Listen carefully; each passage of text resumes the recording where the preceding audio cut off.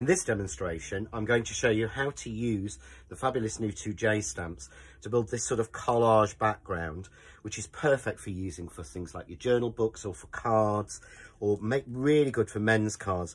But the sort of collage backgrounds work so, so well. A few different pieces that I've done there. So, to start with, I'm going to start with just making a simple card. And I've taken a piece of craft card. This has been cut to five by seven inches, which is a nice standard size. It'll fit on a nice sort of seven and a half, five and a half inch card blank. And I'm going to add a piece of book paper. So I've taken a piece from an old book. This is actually a pack I bought, but you can get old books from a charity shop. And I'm just going to tear it freehand down one side to give me a strip. Now I'm going to adhere this for speed using spray glue, I would suggest using some form of dry glue like a spray glue because what that will actually do is when we start to add ink and things like that, it won't bubble up and it won't have the water underneath. So I've stuck that down one side. I'm going to turn the card over and trim off the excess pieces. So we'll take those off.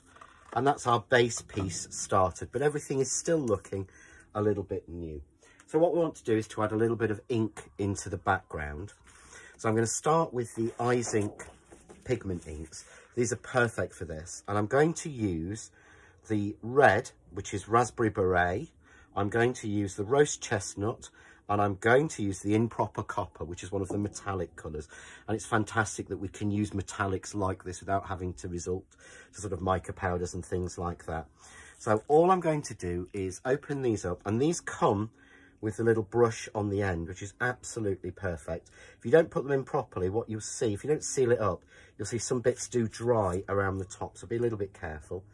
But all I'm doing is using the brush, put some down onto my Crafts Too ink blending mat.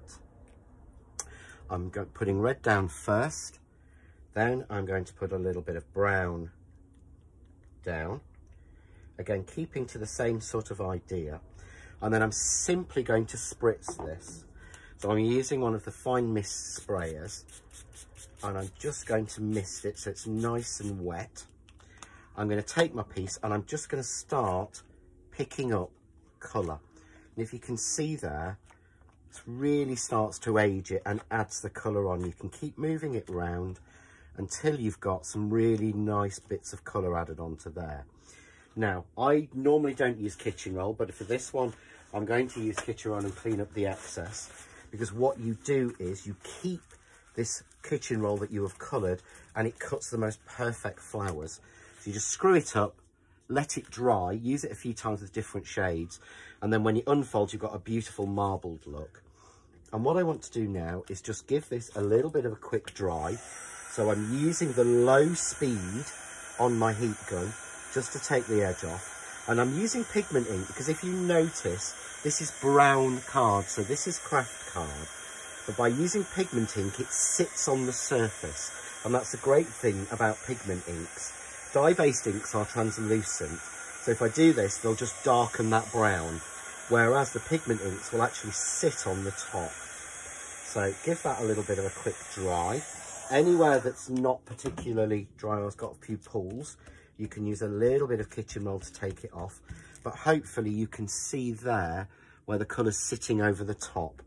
So now I'm going to repeat it using the improper copper. Give these a good shake. Don't worry about using no rolling or anything of that. You just give them a good shake and we get this beautiful copper colour.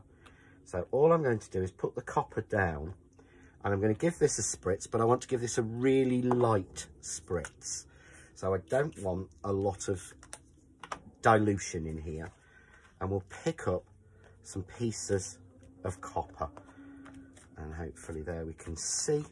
Again, wipe down with your kitchen roll. And give that a quick blast with your heat gun.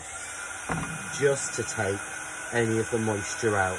But again, the copper is now sitting on top of there in waves and once dry you'll get a beautiful sheen from it and a really different look.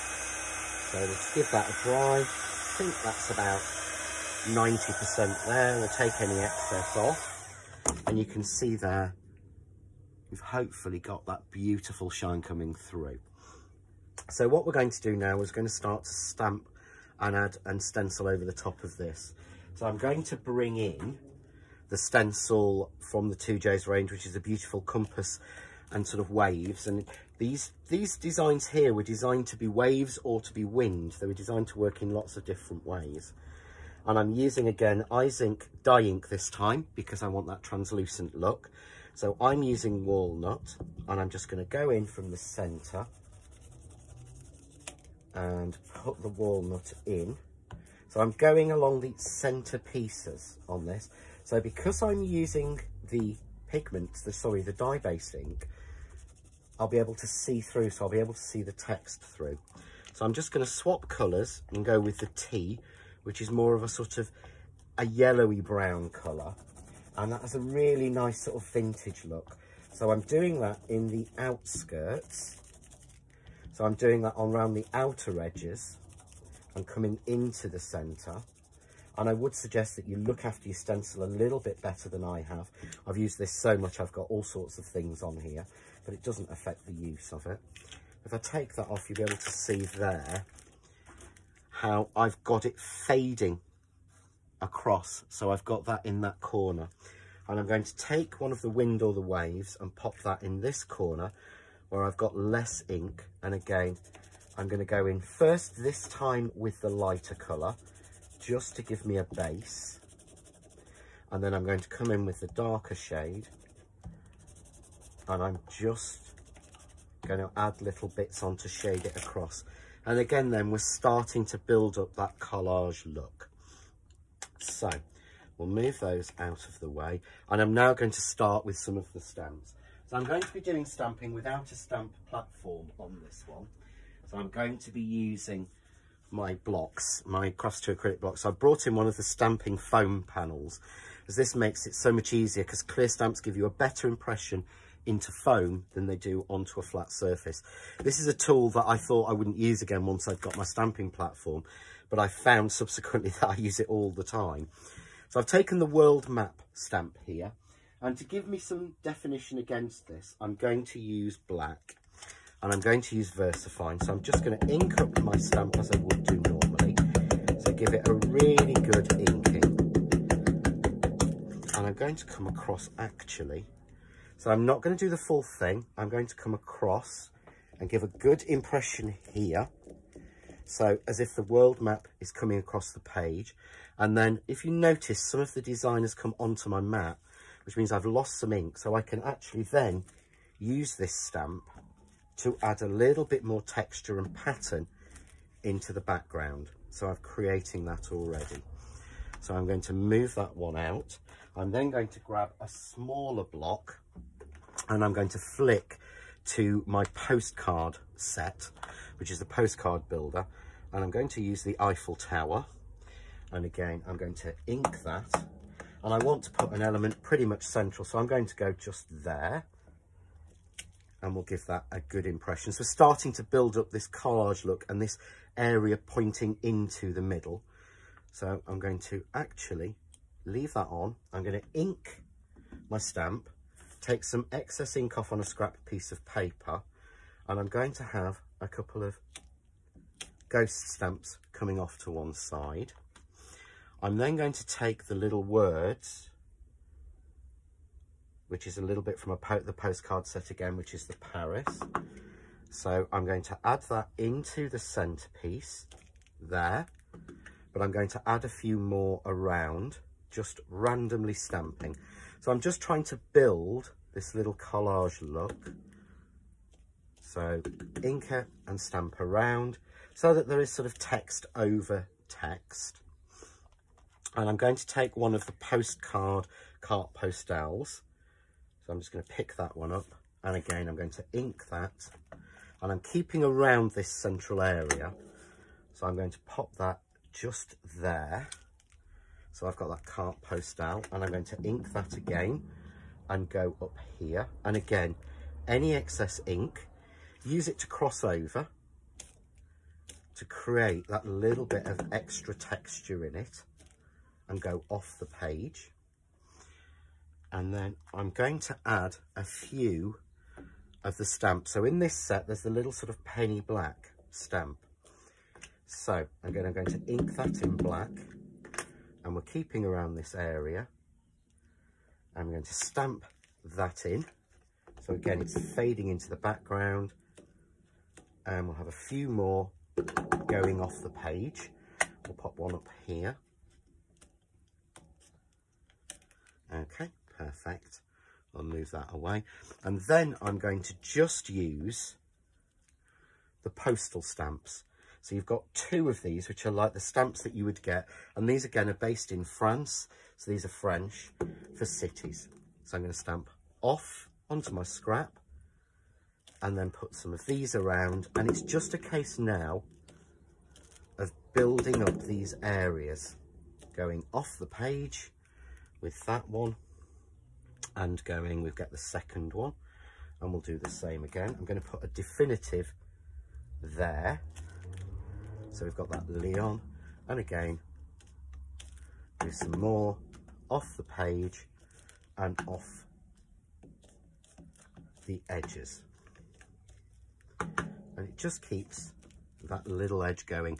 And again, there are more stamps in the set that you can be using. There's little tickets and things like that. But all we're trying to do is to build a background. So we're just trying to build one of those sort of background looks that we can use on there. So I've built up my background piece. You can see there, I've got all of that detail in. So that would be perfect to actually now start to add something on the top too, but it's still a little bit raw around the edges. So what I want to do is to just take this onto my ink blending mat and I'm going to take the two colours I used before, the tea and the walnut.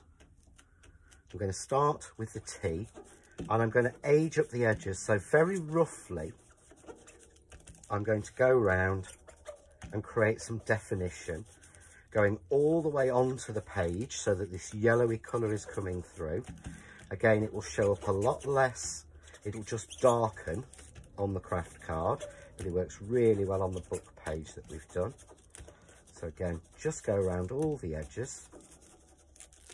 And if you want to, you can take some and darken or soften sort of areas of it. And then I'm going to move on to using the walnut. And to do this, if I do the same technique, I'm going to get a lot on there.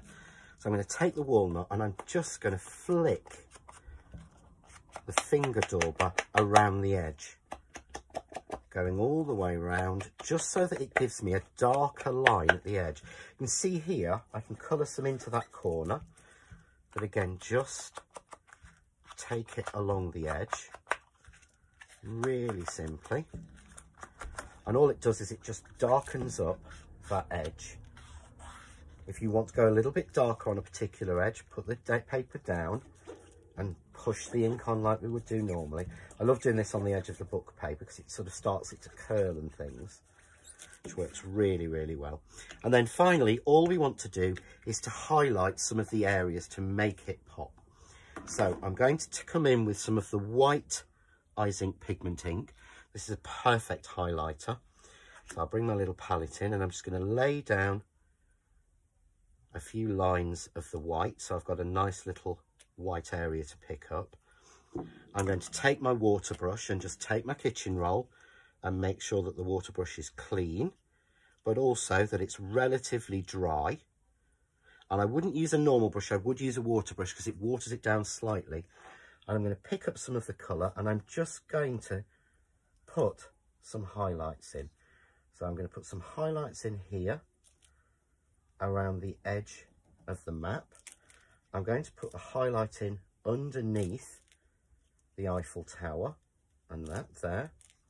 Okay, I'm going to go around the outside of part of this. If you wipe any excess off, you can blend it out. And then just literally follow some of the lines. With the Eiffel Tower, I'm going to put it to the right hand side and pull the colour out just so that we can get a little bit of definition on that there. There we go. Let's put a line up there. A little bit of text there, so let's highlight that. We'll highlight the bottom of that one and the stamp. So just putting in a little bit of highlighting.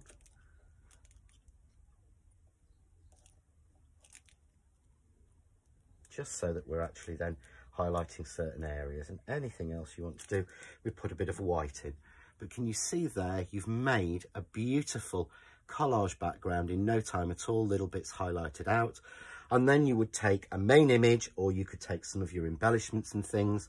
So as I've done here, I've used some metal embellishments, some of the Crafts Too vintage ones. I've added some shells. There's a skeleton leaf on there. All very simple things.